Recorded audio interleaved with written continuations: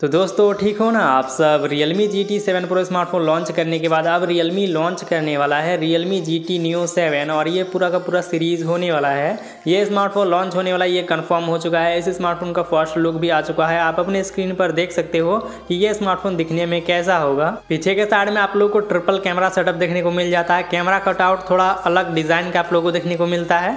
Triple camera setup होने वाला है और इसमें आप लोग को फिफ्टी एम का मेन सेंसर देखने को मिल सकता है। ये अभी कन्फर्म नहीं है। तो इसका इस तरह आप लोगों को लुक देखने को मिल जाएगा। अगर बात करें स्पेक्स की तो ये 6.6 इंच का डिस्प्ले के साथ लॉन्च होगा। 7000 हज़ार का बैटरी मिल जाएगा 80 वोट का चार्जर होने वाला है। और इसमें आप लोगों को डायमंड सिटी 9300 प्लस का चिपसेट देखने को मिल जाएगा। इसका अंततु स्कोर भी लीक हो चुका है, जो कि आप स्क्रीन पर देख सकते हो। तो ये स्मार्टफ़ोन अगले महीने, यानी कि दिसंबर में चाइना में लॉन्च होने वाला है। फिर इंडिया में ये जनवरी 2025 में आएगा। और जब जनवरी 2025 में आएगा ना तो इसका आप लोग को सात हज़ार बैटरी शायद देखने को नहीं मिलेगा। क्योंकि ऐसा Realme GT 7 Pro स्मार्टफ़ोन के साथ भी हुआ है।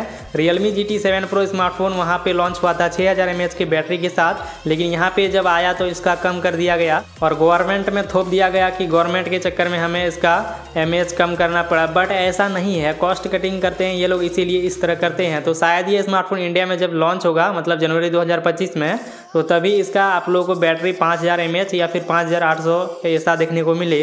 और अगर चार्जर की बात करें तो चार्जर आप लोगों को सेम देखने को मिल जाएगा, अस्सी वोट का। अगर प्राइस की बात करें कि इस स्मार्टफ़ोन का प्राइस आप लोगों को कितना देखने को मिल सकता है तो देखो चाइना में मतलब इसका प्राइस लीक हो चुका है। वहाँ का प्राइस को अगर कन्वर्ट करें तो पच्चीस से तीस हज़ार के प्राइस में ये स्मार्टफ़ोन लॉन्च होने वाला है। लेकिन जब ये स्मार्टफ़ोन इंडिया में आएगा तो इसका प्राइस आप लोग को चालीस से पैंतालीस हज़ार के आसपास देखने को मिलेगा। तो इस प्राइस में अगर ये स्मार्टफ़ोन लॉन्च हुआ तो क्या आप लेना पसंद करोगे? तो कमेंट में यही वाला बताना। और वीडियो अच्छा लगा तो प्लीज़ वीडियो को लाइक और चैनल को सब्सक्राइब कर देना। इस स्मार्टफ़ोन से रिलेटेड कुछ भी और अगर पता चलता है तो मैं ऐसे ही आप लोगों को वीडियो बना करके बता दूँगा। लेकिन इसके लिए आप लोगों को चैनल को सब्सक्राइब करके बेलाइकन को ऑल पर प्रेस करना होगा, तभी सबसे पहले पता चलेगा। तो वीडियो देखने के लिए धन्यवाद।